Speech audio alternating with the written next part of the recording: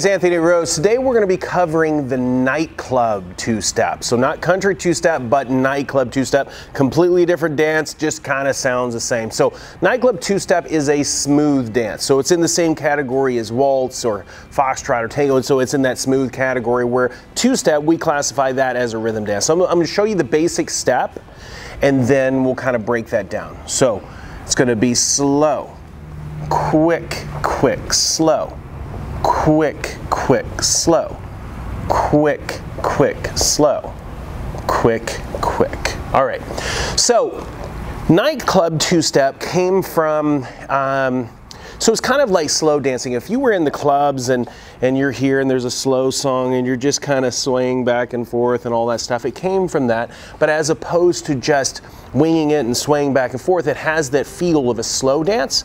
However, there's some amount of uh, pattern structure and everything to it. So it kind of fills a gap that nothing else fills. So like if you're at the country bar or just at dancing at a wedding or something like that, uh, nightclub two-step fills that space where somebody would just high school hug and rock. It kind of fills that gap. Okay, so the first thing I'm going to do is I'm going to break down the leader's footwork, and then we're going to break down the follower's footwork, which is just exactly the opposite. So I'm going to turn around and face this direction. So unlike a lot of the other dances, nightclub two-step actually starts with the leader starting on the right foot instead of the left foot. And we'll talk about why that is in just a second. But the first thing that we're going to do is we're going to step to the side for slow. Then we're going to bring that foot together, and for those of you know what I'm talking about, that's a third position. And then we step forward and across. That's quick, quick. So then we're going to step slow, quick, quick, slow, quick, quick, slow, quick, quick. Okay, so if we watch Rose's footwork with me, hers is exactly the opposite. This is a follower's footwork. She's gonna step to the side for slow, together, forward and across, slow, quick, quick, slow, quick, quick, slow, and quick, quick. Okay, so there's several things that we have to talk about with this pattern. First of all, being that it's a smooth dance and not a rhythm dance, the way that I define rhythm versus smooth is a rhythm dances are dances like polka or East Coast swing, West Coast swing, or like cha-cha, salsa, rumba. Those dances would be rhythm dances. Your body moves very similar in the rhythm dances and also moves very similar in a different way in the smooth dances.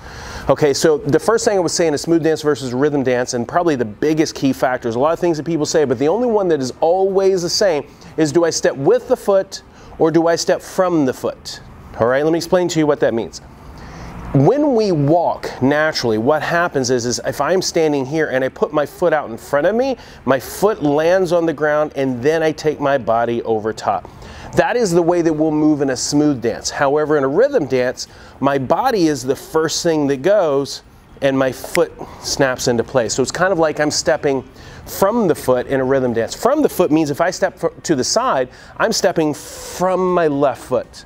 Where in a smooth dance, we step with the right. So the right foot is the first part that goes as opposed to pushing from that foot. So this is going to be a thing that in nightclub two-step people mess up a lot and they kind of get stuck on that in that they step and they're there immediately. All right. So what we're actually going to try to do is we're going to get into our dance position. When we step, we're actually going to reach that foot out first. All right, so the foot finds its spot. My body is still here. You can call this sway to where there's a little bit of line, so it's kind of like I'm here, my body creates a shape. My foot finds its spot, and that's slow, and then I develop onto that. Meaning that I'm not gonna hit that spot and be there with my body instantly. All right, so we call that popping the slow. So if I'm here and if I step to the side and I'm here immediately, I have nowhere else I can go. But however, if I get there for slow, now I've got this little bit of motion that I can still give. So there's a difference between staccato and legato. Staccato means crisp and sharp. So for those of you who do ballroom dancing, tango is very staccato, it's very sharp. Cha-cha would be very staccato. Legato will be like a waltz where everything's just flowing and everything is smooth and soft. You can use this like um, as if you were a musician, right? Uh, if I were to hit the keys of a piano, bop, bop, bop, that would be a staccato note, where if I were to hit them slow and let them ring out and softly go from one thing to next, that would be legato. We want everything in nightclub two-step to be legato. right? So when I step to the side, I am going to keep my body more or less here, and I'm going to reach that foot first. This is slow. Now, if you notice at this point, I am split weight, which means my center is in between my two feet. I'm not committed to that weight yet. So it's kind of a developing slow. So it's slow. So I would go slow. Yeah? So if you watch us do that together, when I step to the side, I'm going to reach that foot first slow and I still have somewhere that I can go to. We actually don't get our body fully centered on that step until the feet come together. So again, if we're trying to create a legato movement, we don't want to keep that foot here and then quick. We want to develop that foot also. So everything is gradually in motion. So if you notice that foot when it's coming together is also kind of gliding. There's no really beginning or end. It just kind of flows from one thing to the next. All right, so this is one of the few times we're going to intentionally be split weight. So when we step to the side, we're not going to be fully committed to that spot yet for slow. Then our feet come together. All right. If you watch my feet from this position, when I step to the side, I'm here. This is sa, and when I bring that foot in, it's uh, low and. This is called third position. Third position is heel to instep. So we don't want to be together and we do not, regardless of what anybody else tells you, you do not do any rock steps in country nightclub two-step. Okay, there's another version of nightclub two-step that kind of has this bounce that has a rock step. Completely different dance, okay? So that can be confusing. But when we step to the side, we're gonna go slow and then we're going to pull that foot into third position. That means if I go to my right side, my right heel and my left instep, it's the instep of that foot. Then we're going to turn our body just a little bit so that we can actually step forward and across quick, quick. We don't want this twisty turning. We want to turn too much, but we want to go slow, quick, quick. From there, we're going to kind of start to turn our, towards our partner as we bring the feet together, and we repeat that process as we step sa, low, quick, quick.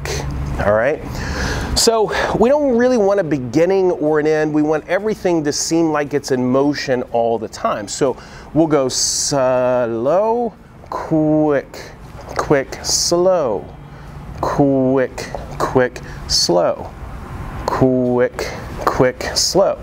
Now notice the upper body is still in motion through that slow.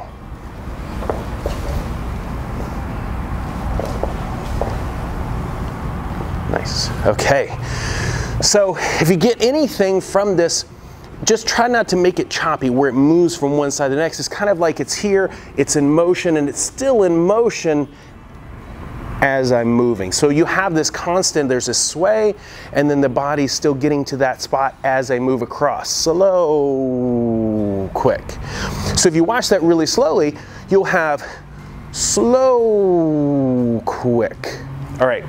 Now, one reason why in this particular dance we like the leaders to start with the right foot and the followers to start with the left, which is backwards for most dances, is that a lot of the patterns if you notice with a partner, if you try this the first time, this side of the body is usually pretty comfortable to step across here.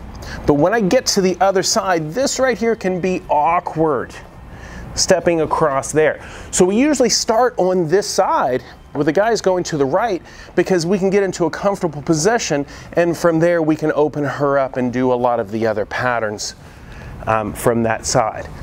Okay, so this would be more of a promenade position. So if I try this from this position, promenade is pretty comfortable to move that foot and through and back. But because of my left hand, her right hand being up, when we go to this other side, this counter promenade is kind of awkward. So it just makes more sense for the leaders to start with the right foot and the followers to start with the left foot. Okay, so we're gonna try this, show you guys this a couple times to music, and that will be your nightclub two-step basic.